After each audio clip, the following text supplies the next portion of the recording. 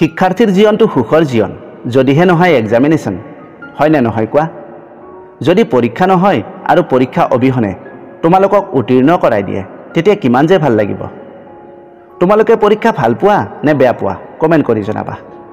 পৰীক্ষা যদিও জ্ঞান মূল্যাংকন কৰাৰ এক পদ্ধতি বেছিভাগ শিক্ষাৰ্থীৰ বাবে পৰীক্ষা হ'ল মানসিক চাপৰ এক মুখ্য উৎস। কেতিয়াবা মনলৈ প্ৰশ্ন আহিছেনে? পৰীক্ষা প্ৰক্ৰিয়াটো কোনে আৰু কি কাৰণত উদ্ভাৱন কৰিছিল? যদিহে পৰীক্ষা প্ৰক্ৰিয়াটো নহ'লহেঁতেন তেতিয়া প্ৰাৰ্থী এজনক কেনেদৰে মূল্যাংকন কৰা হ'লহেঁতেন? নমস্কাৰ মই দিগন্ত। আজি মই এই ভিডিঅ'টোত শিক্ষাৰ্থীসকলে ভয় আৰু ঘৃণা কৰা পৰীক্ষা বোলা বেয়া বস্তুবিধৰ সৃষ্টি আৰু ইয়াৰ ইতিহাসৰ বিষয়ে আলোচনা কৰিম। ব'লা এতিয়া ভিডিঅ'টো আৰম্ভ কৰোঁ। ইতিহাস গৱাহে।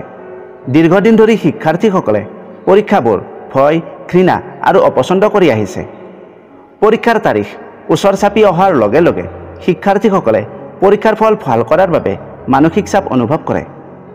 এতিয়া নতুনকৈ এটা ট্ৰেণ্ড আহিছে যে সৰস্বতী পূজাৰ দিনা কিছুমান এনেকুৱা শিক্ষাৰ্থী প্ৰকট হয় যিসকলে বিদ্যাৰ দেৱীৰ আগত প্ৰাৰ্থনা কৰে হে মা এইবাৰ যেনেকৈ নহওক পৰীক্ষাটো বাতিল কৰাওক অহা বছৰ ভালদৰে পঢ়িম। কিছুমানে প্ৰাৰ্থনা কৰে মোক যেনেকৈ নহওক পাছ কৰাই দিয়ক মই এক কিলো বুট দিম। মই এনেকুৱা শিক্ষাৰ্থীও দেখিছোঁ যিয়ে প্ৰতিটো পৰীক্ষাৰ আগত কিবা নহয় কিবা বেমাৰত পৰে। বেজতি যেতিয়া গ্ৰামাৰ শিকাই থাকোঁ কিছুমান শিক্ষাৰ্থীয়ে গ্ৰামাৰ শিকাত মন দিয়াতকৈ তেওঁলোকৰ মনত প্ৰশ্ন চলি থাকে যে গ্ৰামাৰ কোনে আৱিষ্কাৰ কৰিছিল? গ্ৰামাৰ কোনে আৱিষ্কাৰ কৰিছিল? এই বিষয়ে বেলেগকৈ এটা ভিডিঅ'ত আলোচনা কৰিম।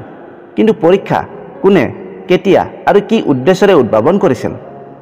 পৰীক্ষাৰ উদ্ভাৱন কৃতিত্বক লৈ বিভিন্ন দেশে বিভিন্ন ধৰণে দাবী কৰে যেনে চীন আমেৰিকা ভাৰত।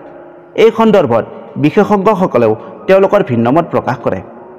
ঐতিহাসিক প্ৰমাণ অনুসৰি প্ৰাচীন চীন হৈছে বিশ্বৰ প্ৰথমখন দেশ যিয়ে দেশজুৰি মানক পৰীক্ষা ৰূপায়ণ কৰিছিল যাক ইম্পাৰিয়েল এক্সামিনেশ্যন অৰ্থাৎ সাম্ৰাজ্যিক পৰীক্ষা বুলি কোৱা হৈছিল। এই পৰীক্ষাৰ মূল উদ্দেশ্য আছিল নিৰ্দিষ্ট চৰকাৰী পদৰ বাবে সক্ষম প্ৰাৰ্থী বাছনি কৰা। সাম্ৰাজ্যিক পৰীক্ষাটো চুই ৰাজবংশৰ দ্বাৰা ছশ পাঁচ খ্ৰীষ্টাব্দত প্ৰতিষ্ঠা কৰা হৈছিল আৰু পিছলৈ তেৰশ বছৰ পিছত ঊনৈছশ পাঁচ চনত সিং ৰাজবংশৰ দ্বাৰা ইয়াক বাতিল কৰা হৈছিল। চীনা সাম্ৰাজ্যিক পৰীক্ষাৰ আৰ্হি তৈয়াৰ কৰা মহামান্য অসামৰিক সেৱাৰ পদৰ বাবে নিৰ্দিষ্ট প্ৰাৰ্থী বাছনি কৰিবলৈ ইংলেণ্ডে ওঠৰশ ছয় চনত এই পৰীক্ষা প্ৰণালী গ্ৰহণ কৰিছিল। এই পৰীক্ষা প্ৰণালীটো পিছত শিক্ষাৰ ক্ষেত্ৰত প্ৰয়োগ কৰা হৈছিল আৰু ই পৃথিৱীৰ আন প্ৰান্তক প্ৰভাৱিত কৰিবলৈ আৰম্ভ কৰিছিল। কিয়নো ই এক বিশিষ্ট মানদণ্ড হৈ পৰিছিল। গতিকে পৰীক্ষাৰ ধাৰণাটো বিদ্যালয় আৰু মহাবিদ্যালয়লৈ কঢ়িয়াই অনা হৈছিল আৰু আন আন দেশলৈ বিয়পি পৰিছিল। তদুপৰি কিছুমান বিশেষজ্ঞৰ মতে ওঠৰশ চনৰ শেষৰ দশকৰ ফালে হেনৰী ফিছেল নামৰ এজন আমেৰিকান ব্যৱসায়ী আৰু সমাজ হিতৈষী ব্যক্তিয়ে পৰীক্ষাৰ ধাৰণাটো প্ৰৱৰ্তন কৰে বুলি দাবী কৰে। আনহাতে কিছুমানে একে নামৰ হেনৰী ফিছেলক মানক মূল্যাংকন সৃষ্টি কৰাৰ কৃতিত্ব দিয়ে। বিশ শতিকাৰ আৰম্ভণিতে তেওঁ ইণ্ডিয়ানা বিশ্ববিদ্যালয়ৰ ধৰ্মীয় অধ্যয়নৰ অধ্যাপক আছিল। ভাৰতলৈ শিক্ষা প্ৰণালী কেতিয়া আহিছিল? কৌটিল্য অৰ্থশাস্ত্ৰখন তিনিশ তেৰ খ্ৰীষ্টপূৰ্বত চাণক্য বা বিষ্ণুগুপ্তই মৌৰ্যকালত ৰচনা কৰিছিল। বুৰঞ্জীবিদসকলে কৌটিল্যৰ পৰিচয়ৰ ওপৰত একমত নহয়। কিছুমানে কয় যে চাণক্য আৰু বিষ্ণুগুপ্ত একেজন ব্যক্তি কিন্তু সংখ্যাগৰিষ্ঠই ইয়াৰ সৈতে অসন্মত। কৌটিল্য অৰ্থশাস্ত্ৰ হৈছে প্ৰথমখন জ্ঞাত গ্ৰন্থ যিয়ে ৰাজহুৱা কৰ্মচাৰী নিযুক্তিৰ প্ৰয়োজনীয়তাৰ বিষয়ে গুৰুত্ব আৰোপ কৰিছিল।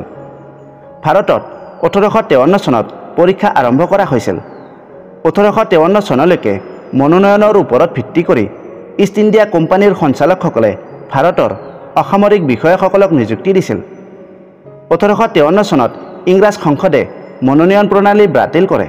সেই সময়ৰ পৰা চৰকাৰী কৰ্মচাৰীসকলক জাতি নিৰ্বিশেষে প্ৰতিযোগিতামূলক পৰীক্ষাৰ জৰিয়তে বাছনি কৰা হৈছিল।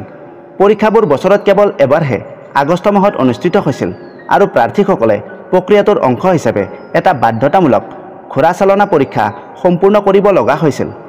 পৰীক্ষাৰ সৃষ্টি আৰু ইয়াৰ ইতিহাসৰ বিষয়ে জানিবলৈ পালা। কিন্তু ভাৰতৰ বিভিন্ন বিদ্যালয় পৰিষদ কেনেকৈ অস্তিত্বত আহিল আৰু বোৰ্ড পৰীক্ষাবোৰ কেতিয়াৰ পৰা আৰম্ভ হ'ল এই বিষয়ে জানানে? যদি এই বিষয়ে জানিব বিচৰা কমেণ্ট কৰিবা। যদি পৰীক্ষা নহ'লহেঁতেন তেতিয়া এজন প্ৰাৰ্থীক মতদান পদ্ধতিৰে বাছনি কৰা হ'লহেঁতেন। মানে আমি এতিয়া যেনেদৰে আমাৰ নেতাসকলক বাছনি কৰোঁ ঠিক তেনেকৈ এটা চাকৰিৰ বাবে বা এটা শ্ৰেণীৰ পৰা আনটো শ্ৰেণীলৈ উত্তীৰ্ণ হ'বৰ বাবে ফুট হ'ল হয়। এই ভিডিঅ'টোৰ পৰা যদি কিবা নতুন তথ্য শিকিবলৈ পালা ভিডিঅ'টোৰ পৰা যদি উপকৃত হৈছা লাইক কৰিবা শ্বেয়াৰ কৰিবা আগন্তুক ভিডিঅ'বোৰৰ ন'টিফিকেশ্যন পাবলৈ চেনেলটো ছাবস্ক্ৰাইবো কৰি ল'বা। আজিৰ এই ভিডিঅ'টো ইমানতে এৰিলোঁ। নেক্সট ভিডিঅ'ত পুনৰ লগ পাম। ধন্যবাদ।